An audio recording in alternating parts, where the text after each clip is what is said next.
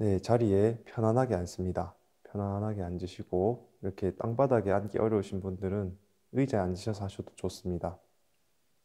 뭐 몸을 좀 무리하지 마시고 자기가 할 수 있는 자세로 할 수 있는 만큼 그렇게 진행해 주시는 게 좋을 것 같습니다. 그리고 수행하기 앞서 가지고 한 5분, 10분간이라도 좀 스트레칭을 하시고 각자가 알고 있는 그런 가벼운 동작 정도 몸을 풀어주시고 앉는 게 훨씬 앉아있기도 또 그게 또 우리 마음 영향에도 몸이 찌뿌둥하고 아프고 이러면은 이게 화가 나고 물론 화도 관찰 대상이지만 그거를 좀 미연에 우리가 스트레칭 한 5분 하는 걸로 없을 수 있으면은 좀 그런 거 미리 좀 미연에 몸을 풀고 앉으시는 게 훨씬 좋다고 생각합니다.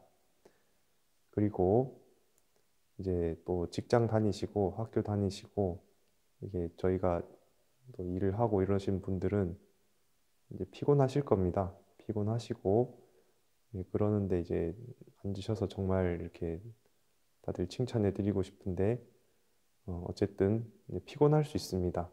좌선하기 시작하면 시작하고 나서는 좀 이게 또 돌리는 게 힘들 수 있으니까 그냥 미리 지금 피곤하시다고 느끼시면 조금 눈을 붙이시고 수행하시는 것을 권장드립니다.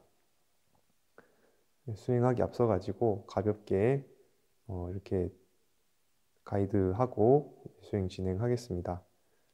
어 우리 수행의 주 대상은 호흡이죠.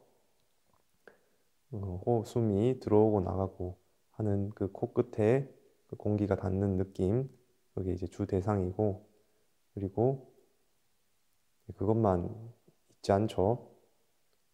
이제 밖에서 우리가 또 보고, 보고 듣고, 뭐 이렇게 맛보고 했던 그런 것들이 떠오르고, 막 짜증도 나고, 뭐 별의별 그런 생각들, 과거로 갔다가 미래로 갔다가 그런 생각들 많이 떠오를 겁니다.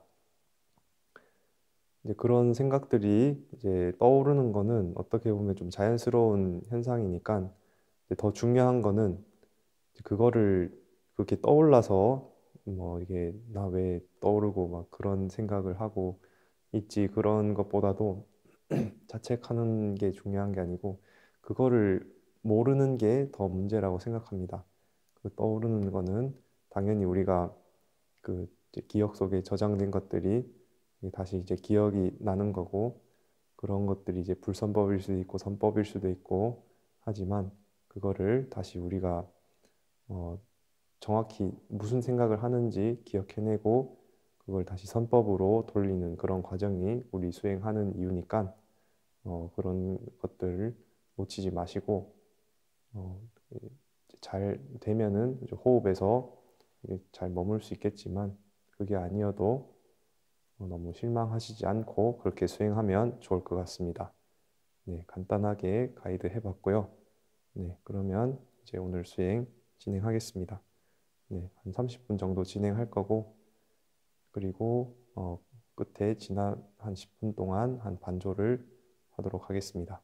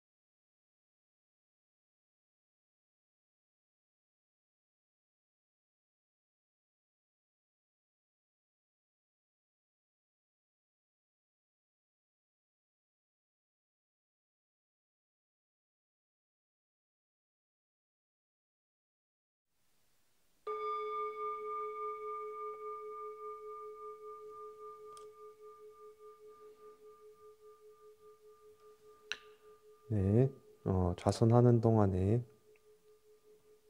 어땠는지, 뭐, 호흡에 잘 머물렀는지, 아니면은 그냥 우리가 일상 속에서 하는 그런 생각의 연장선이 수행하는 중에도 이렇게 이어졌는지,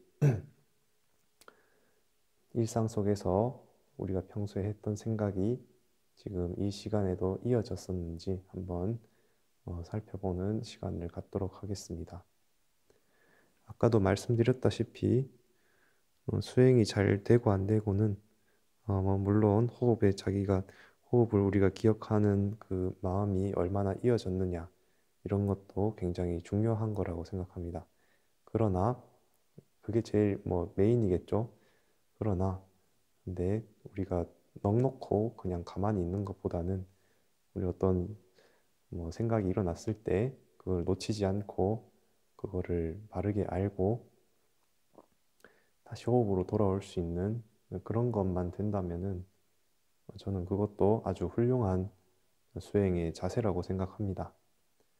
그렇기 때문에 어떤 마음 상태였고 어떤 종류의 생각이 올라오더라도 거기에 어, 넉넉고 그렇게 바라보지 않고 그거를 정확하게 인지하고 다시 호흡으로 돌아와서 그런 과정이 계속 이어졌다면 어쨌든 저는 뭐 수행을 잘 한, 하셨다고 그렇게 말씀드리고 싶습니다. 어쨌든 그 우리가 그 자선 시간에 했던 생각은 어, 갑자기 일어난 생각은 절대 아닐 겁니다. 우리가 어, 가만히 잘 생각해 보면 평소에도 그렇게 생각하고 있거나 아니면 평소에는 우리가 그렇게까지 수면 위로 생각해 보지 않은 문제일 수도 있는데 근데 이제 마음이 고요해지니까 그런 생각들이 정리가 되면서 어, 나왔던 마음일 수도 있고 여러 가지 원인이 있겠죠. 그래서 그런 어떤 우리가 호흡에 잘 머무르신 분들은 우리가 어떤 조건으로 해서 지금 내가 호흡에 잘 머물렀는지, 그죠? 우리가 뭐 건강 상태 체크할 때 보면은 평소에 뭐 어떤 음식을 드셨는지 뭐 이런 거 의사 선생님들이 물어보시죠. 그런 것과 같이 내가 평소에 어떻게 마음 조건을 썼는데 이런 결과가 나왔는지 한번 생각해 보시고 어, 그런 연장선으로 우리가 일상을 살아가는데도 어떤 어, 마음 상태로 어떻게 생각하고 어떻게 선택의 순간마다 어떤 걸 선택하느냐에 따라서 어, 이렇게 좌선할 때 그 선법으로 계속 기억이 어, 유지될 수 있는지 아니면 또 불선법으로 가는지 좀 틀려지는 것 같습니다.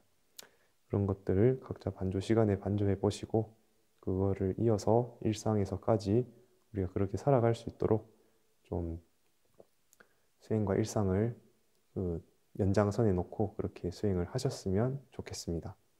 네, 그러면 어, 우리가 10분 하는 동안 이렇게 아이들을 좀 해드렸고 남은 시간 동안에 반조하고 마치도록 하겠습니다.